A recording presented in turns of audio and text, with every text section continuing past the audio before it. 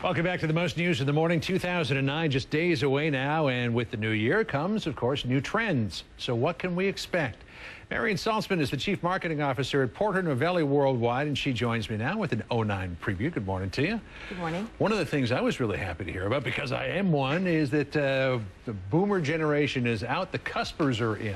Right. Well, Generation Jones, Cusper, call them what you will. There's definitely going to be a power shift. Um, Obama going to the White House is the beginning of something new. I think you're going to see this group born 1954, 1955 to about 1965 um, with different set of values. We weren't allowed to go to Woodstock. We were told to go back to our bedrooms and do our homework.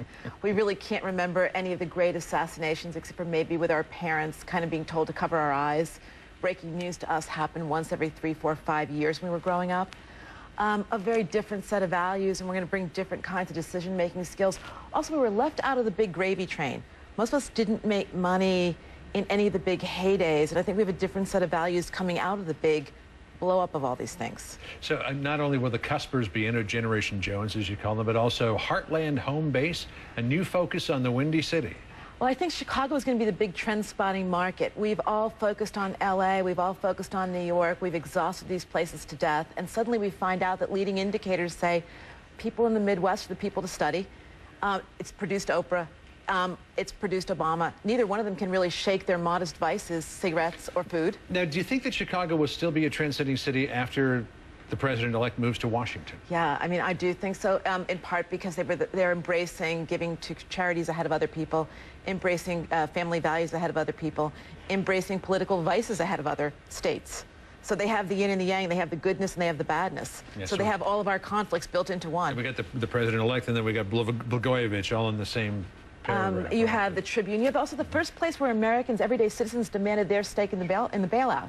If you think about the strike that happened, where the people went back mm -hmm. and said, mm-hmm. "Hang on, that's right. Give me my fair share." Yeah, that was that was really company, the, right? the really the beginning of people saying, "Stop! I want my my business too." So the economic crisis obviously will have a big impact in the first part of next year, if not all of next year. And, and you suggest that one of the trends we're going to see is the ultimate reboot. That's what is right. That? Think about when your computer melts down, you call the IT department, you call Geek Squad, and they say reboot. Every one of our systems needs to be rebooted. Education isn't working. Healthcare isn't working. The roadways aren't working. Think of those potholes you fall into every morning when you're getting here. The whole country needs to be rebooted at a bigger level. Um, the World Economic Forum has met and they said we need to reboot everything.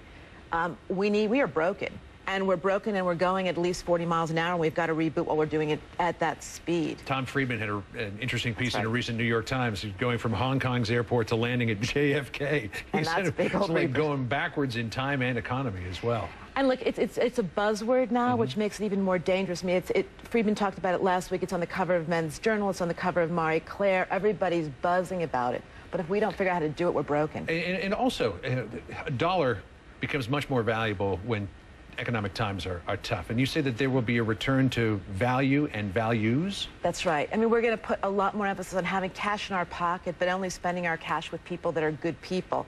So you want to um, spend your money with an employer that's a good person. So what does it mean to be a good person? It means when they lay people off, they treat them fairly. Mm -hmm. It means when they give money into causes, they give them to good causes, causes in the community that actually make a difference. We're going to be much harsher armchair critics.